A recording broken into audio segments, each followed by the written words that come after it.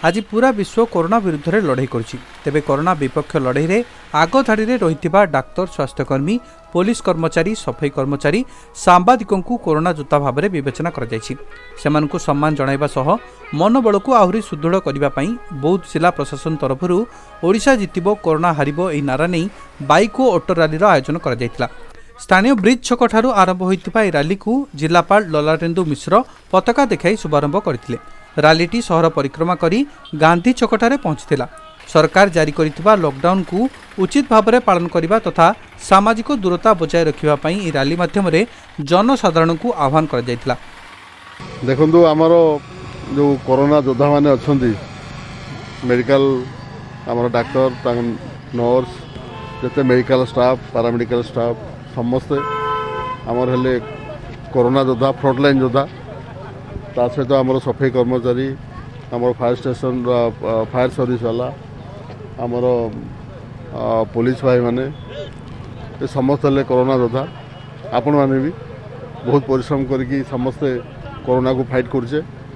ତ ସେମାନଙ୍କ ଯାହା ଅବଦାନ ତାହା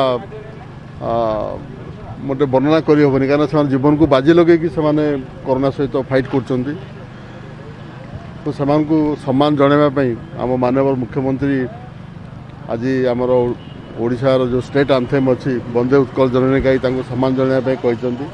ତା'ର ଏକ ଛୋଟ ପ୍ରୟାସ ହେଲା ତାଙ୍କୁ ସମ୍ମାନ ଜଣାଇବା ପାଇଁ ସେ କରୋନା ଯୋଦ୍ଧାମାନଙ୍କୁ ତାଙ୍କୁ ଉତ୍ସାହିତ କରିବା ପାଇଁ ତାଙ୍କୁ ଆହୁରି ଶକ୍ତି ଯୋଗାଇବା ପାଇଁ ଆମେ ଏଇ ଗୋଟେ ଛୋଟ ପ୍ରୟାସ କରିଛୁ। ତାଙ୍କ ନାଁରେ ଗୋଟେ ରାଲି କରାହେଉଛି। ମୋଟରସାଇକେଲ ଅଟୋ ସବୁ ମିଶିକି ରାଲି କରିଛନ୍ତି। ମୁଁ ଭାବୁଛି ନିଶ୍ଚିତ ଭାବରେ ତାଙ୍କୁ ତ ଶକ୍ତି ଯୋଗାଇବ ତା ସହିତ ଆମକୁ ମଧ୍ୟ ସମସ୍ତଙ୍କୁ ପ୍ରେରଣା ଯୋଗାଇବ ଯେ ଆମେ ସମସ୍ତେ ଆଉ କରୋନାକୁ ଡରିବାନି।